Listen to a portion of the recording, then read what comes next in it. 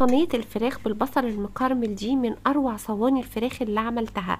بجد طعمها خطير. لو جربتيها بجد مش هتبطلي تعمليها إلا بالطريقة دي. هقولك على أحلى تتبيلة ليها. أول حاجة بجيب الفراخ وطبعا بغسلها كويس جدا وهحضر معايا بصل. هكون مقطعاه جوانح. بالطريقة دي هتحطي معاكي أربع بصلات. كل ما تكتري البصل كل ما هيخلي معاكي طعم الفراخ أحلى.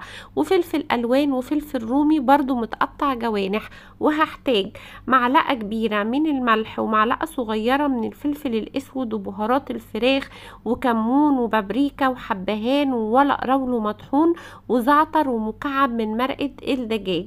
وهتحتاجي كمان معلقة كبيرة من السكر ومعلقتين كبار من دبس الرمان.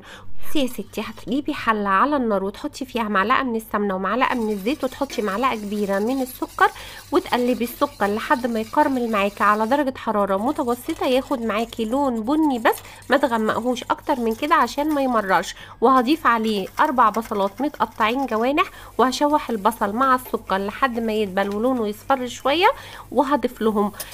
فلفل حامي وفلفل رومي وفلفل ألوان وأشوح الفلفل مع البصل والسكر وأحط لهم معلقة صغيرة من الثوم المهروس وأشوحهم كلهم مع بعض لمدة دقيقتين وهنزل عليهم بمكعب من مرقة الدجاج وهبهر البصل بمعلقة كبيرة من الملح ومعلقة صغيرة من الفلفل والكمون وتوابل الفراخ والبابريكا وحبهان وورق رولو مطحون وزعتر وأشوح البصل مع كل البهارات وهضيف لهم معلقتين كبار من دبس الرمان وهقلب كل المكونات مع بعضها وهسيبها لمدة خمس دقايق واطفي وهجيب الفراخ بعد ما غسلتها كويس وهعمل فيها فتحات تحت الجلد وهتبلها بشوية من الملح والفلفل الأسود كويس جدا وتحت الجلد كمان وبعد ما الخلطة بردت معانا شوية هتبل بيها الفراخ تحت الجلد كويس جدا وباقي الخلطة هحطها في الصينية وأرص فوق منها الفراخ وهسيبها في التتبيلة دي لمدة ساعة. بعد ما سبت الفراخ في التتبيلة لمدة ساعة هطلعها وفي نفس الصينية اللي كان فيها الخلطة